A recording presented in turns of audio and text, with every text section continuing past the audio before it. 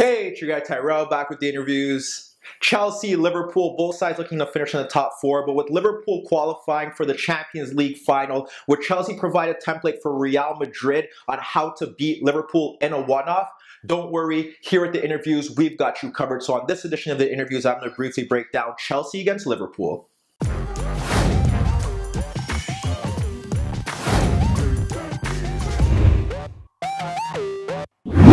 So Liverpool, Chelsea, Chelsea looking to finish in the top four. Liverpool obviously looking to secure that position so Chelsea don't overrun them. They have a Champions League final on the horizon, but first they have to go to Stamford Bridge and get the job done. You look at the board, you got Chelsea in the blue, you got Liverpool in the red, Liverpool in the 4-3-3 as we expect. Firmino up front, Mane and Salah on the flanks. Jordan Henderson got rested, which means Wijnaldum played in midfield ahead behind Milner and Trent Alexander-Arnold, who started at right center midfield. You look at Chelsea 3-5-2, Hazard, Giroud up front, Bakayoko, Fabregas, Kanté in midfield.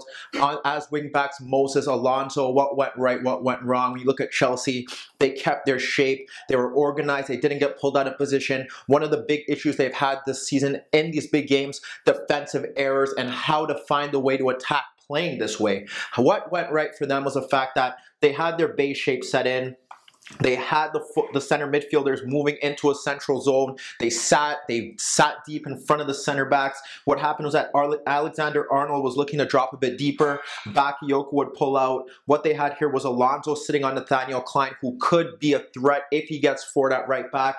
Then they had Victor Moses kind of tuck into the left, so they did have more of a back four when the ball was shifted over. The reason for that was solely based on the fact that Robertson, although he can drive forward, doesn't really like to deliver crosses from deep. He likes to overlap. He likes to get closer to the box before he delivers the crosses. So what they had was Fabregas kind of sit on him. James Milner obviously could use that to his advantage. However, Milner was often trying to float around the lines, trying to find space on the ball. That didn't really work out for Liverpool in that sense. What worked out for Chelsea was they were man for man in that sense, and they had one extra man in Moses stuck tight to their men. Mo Salah had a quiet game. Rudiger was tight on him throughout. He ensured that he did foul him. He did get tight, didn't allow him to turn like we've seen other smaller teams do this season. Mo Salah was kept quiet. Firmino obviously had an impact. You think about him running off Rudiger in the early stages when Salah pulled wide to get a long ball, forced Courtois into a save. He did drop deep, and what happened with Chelsea was that when Liverpool's attackers dropped deep, they wanted to ensure that they maintained their line. They didn't want to get sucked in because what Liverpool try to do is if Firmino drops deep, Salah likes to pull forward. If Salah drops deep, Firmino tries to pull in. So they dropped what happens that he did drop off deep, push the ball out wide to Salah. It didn't really manifest into anything, but it showed what they were trying to do. At times, Chelsea got it right because there were times where both Firmino and Mane wanted to drop deep, and then there were no runners in behind. So that, then they were okay to really sit back. But when they did drop off, there was a big issue, and it was Mane who was the key man in the first half, the best Liverpool player throughout. There's one instance where he did drop deep, as Azpilicueta didn't follow him. He turns, runs at goal, fires a shot on goal. That Courtois pushes away. In transition, he was even more devastating. There was one instance where they kind of sucked Cesc Fabregas into the play. He drops, he runs forward, tries to play the pass in. However, there's a defender tight on Giroud, loses the ball. What happens is that Mane turns, runs on goal, forces Courtois to a save. Mane was a counter-attacking threat throughout. There was one counter-attack where Kanté was forced to make a diving tackle to stop him from getting a shot on goal. We saw Bakayoko and Fabregas get forward. Kanté was exposed in that sense. So in transition, there was always a threat Mane was that threat. However, Liverpool were unable to make the difference there. So when you look at Liverpool as a whole, they were shut down in that regard. They didn't really get much from their midfield. Wijnaldum was able to kind of move forward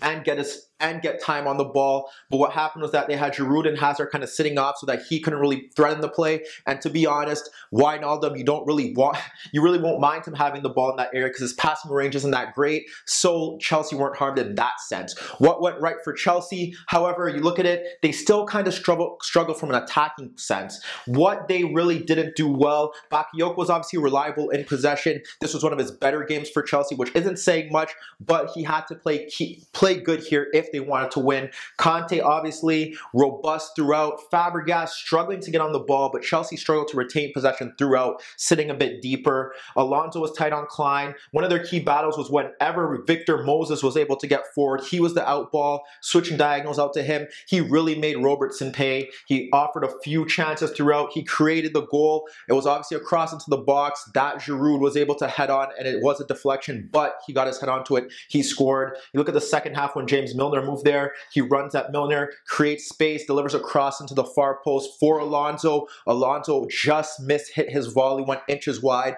but Moses was the key man throughout. There was another opportunity where he's able to deliver a cross into the box from the right. Bakayoko went into the box. Obviously, he nodded his effort wide, but those were chances that stemmed from the right hand side because it was Moses against Robertson. Robertson didn't really get forward. They had Fabregas there, and that was a key issue for them. But they had Moses get forward at will, and he caused Robertson and Milner at a point lots of problems. The other big thing for Chelsea no real combination between Giroud and Hazard. We see when they play this with a, with Morata and Hazard, there's a lot of combinations, but Chelsea lack attacking uh, options to get them forward. When they play the 3-5-2, they sacrifice Willian, they sacrifice Pedro, but you look at their midfield options, who do they really have? Kanté not renowned for his goal scoring.